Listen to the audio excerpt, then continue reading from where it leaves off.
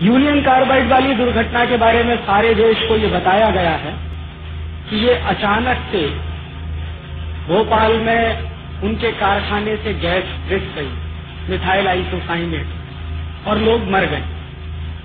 लेकिन उस union carbide के काम में बहुत गहरे में उतरा, और इस कंपनी के बारे में बहुत केस स्टडी का काम मैंने किया, मेरे विद्यार्थी जीवन में।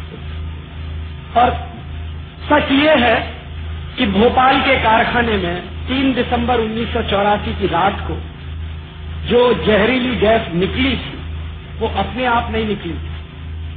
वो बाकायदा एक्सपेरिमेंट किया गया।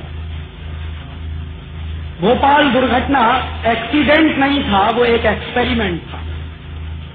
और वो एक्सपेरिमेंट क्या था? यूनियन कार्बाइड अमेरिका की कंपनी है।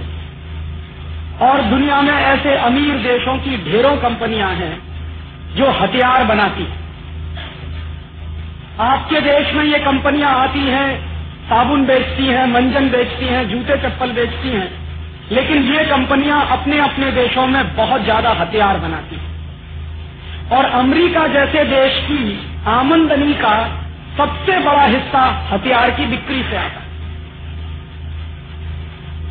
इस देश की पूरी की पूरी इकोनॉमी, अमेरिका की पूरी की पूरी अर्थव्यवस्था हथियारों के व्यवसाय पर टिकी हुई। तो हथियारों का व्यवसाय चलना चाहिए, ये उनकी हमेशा की ज़रूरत रहती। तो हथियारों का व्यवसाय कब चल सकता है? दो ही तरीके से चलता। या तो दो देशों के बीच युद्ध चल रहा हो, और उस युद्ध में वो हथियार बेचे जाएँ। एक तरीका तो ये होता। दूसरा तरीका ये होता है कि अगर दो देशों के बीच न होकर सारी दुनिया में कोई युद्ध चल रहा हो और उसमें हथियार बेचे जाए और आज के जमाने में सारी दुनिया में एक अघोषित युद्ध चल रहा है, जिसको आप आतंकवाद कहते हो। ये जो आतंकवाद के लोगों को, जो भी लगे हुए हैं उसमें, चाहे वो कश्मीर में हो, चाहे वो आसाम में हो, चाहे नागालैंड में हो, चाहे त्रिपुरा में हो, चाहे मणिपुर में हो, या किसी भी दूसरे देश के हिस्से में हो, इन सारे बड़े बड़े आतंकवादियों को हथियार भेजने का काम ऐसी ही कंपनियाँ करती हैं। एक बंदूक है, आपने उसका नाम सुना होगा ए के फोर्टी सेवन ये जो ए के फोर्टी सेवन नाम की बंदूक है, ये अमेरिका की कंपनी की बनाई हुई और ये हिंदुस्तान में कैसे आती पहले अमेरिका की कंपनियाँ उसको चीन में बेचती चीन उसको पाकिस्तान को देता और पाकिस्तान के माध्यम से फिर हिंदुस्तान में और हर साल अमेरिका और यूरोप के बहुत सारे देश लाखों करोड़ रुपए का हथियारों का व्यवसाय करते हैं। और हथियार दो तरह के होते हैं। एक तो वो हथियार होते हैं जो बंदूक की तरह के हैं तो गोला बारूद की तरह के। हैं लेकिन आज की दुनिया में कुछ खतरनाक किस्म के भी हथियार बनते हैं, जिनको हम केमिकल बम कहते हैं। और ये जो केमिकल बम होते हैं, वो केमिकल बम तोप के गोले से कुछ भिन्न तरह के होते हैं। उनमें जहरीली गैसें भरी जाती हैं। और वो जहरीली गैसें जब बम फटता है तो पूरे वातावरण में फैल जाती हैं। और वो वातावरण में जो भी आदमी सूंघेगा उस गैस को, वो मर जाता। तो तोप के गोले से ज़्यादा असरकारक होता है केमिकल बम और अमेरिका की ढेरों कंपनियाँ केमिकल बम बनाती हैं। और उन केमिकल बम को बनाने के लिए दो तीन जहरीली गैसें इस्तेमाल होती हैं। एक गैस है, उसका नाम है फॉस्जीन दूसरी गैस है, उसका नाम है मिथाइल आइसोसाइनेट और ऐसी दो तीन और गैस तो ये जो भोपाल के कारखाने में गैस निकली थी, वो मिथाइल आइसोसाइनेट और मिथाइल आइसोसाइनेट गैस का ये टेस्ट करके देखना हो कि ये कितने लोगों को मार सकती है, ये अमेरिका में नहीं किया जा सकता। क्योंकि अमेरिका में वो मानते हैं कि लोगों की ज़िंदगी की कीमत बहुत है। इसलिए अमेरिका में नहीं कर सकते। और अमेरिका में ही नहीं कर सकते। अमीर देशों में कहीं भी नहीं कर सकते इस तरह के एक्सपेरिमेंट।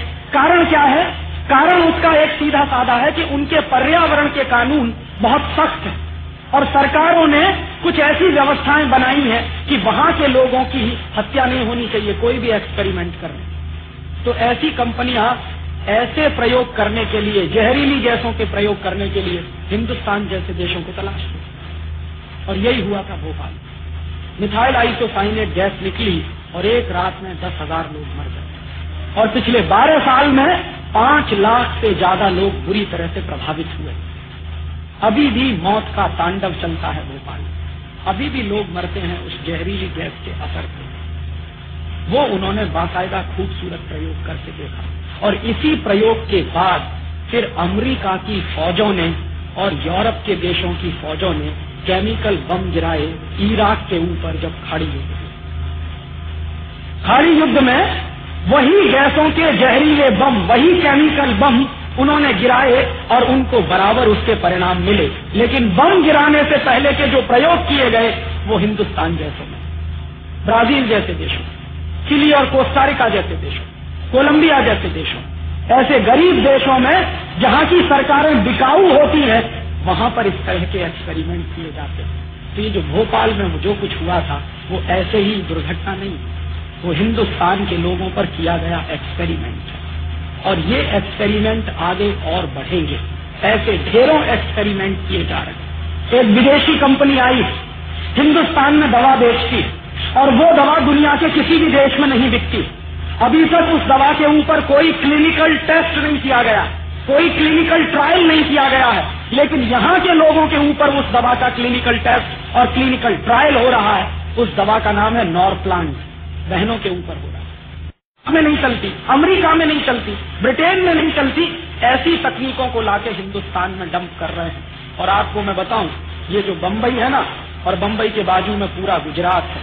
मैं आज आपसे ये कह रहा हूँ कि अभी तो एक भोपाल बना है हिंदुस्तान में। गुजरात में तो पचास से ज़्यादा ऐसी जगह हैं जो किसी भी दिन भोपाल बन सकते हैं।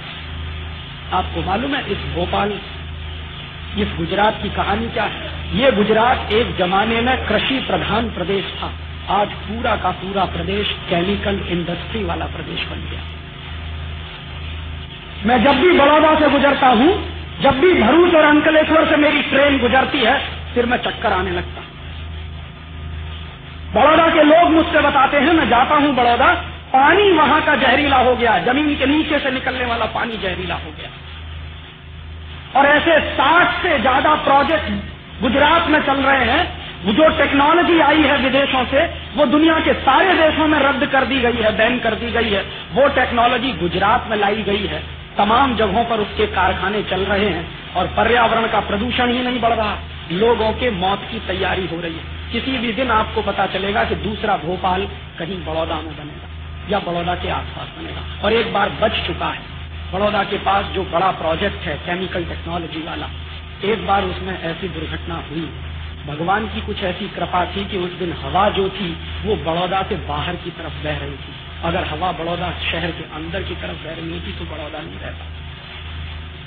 इतने खतरनाक प्रोजेक्ट इस देश में आए।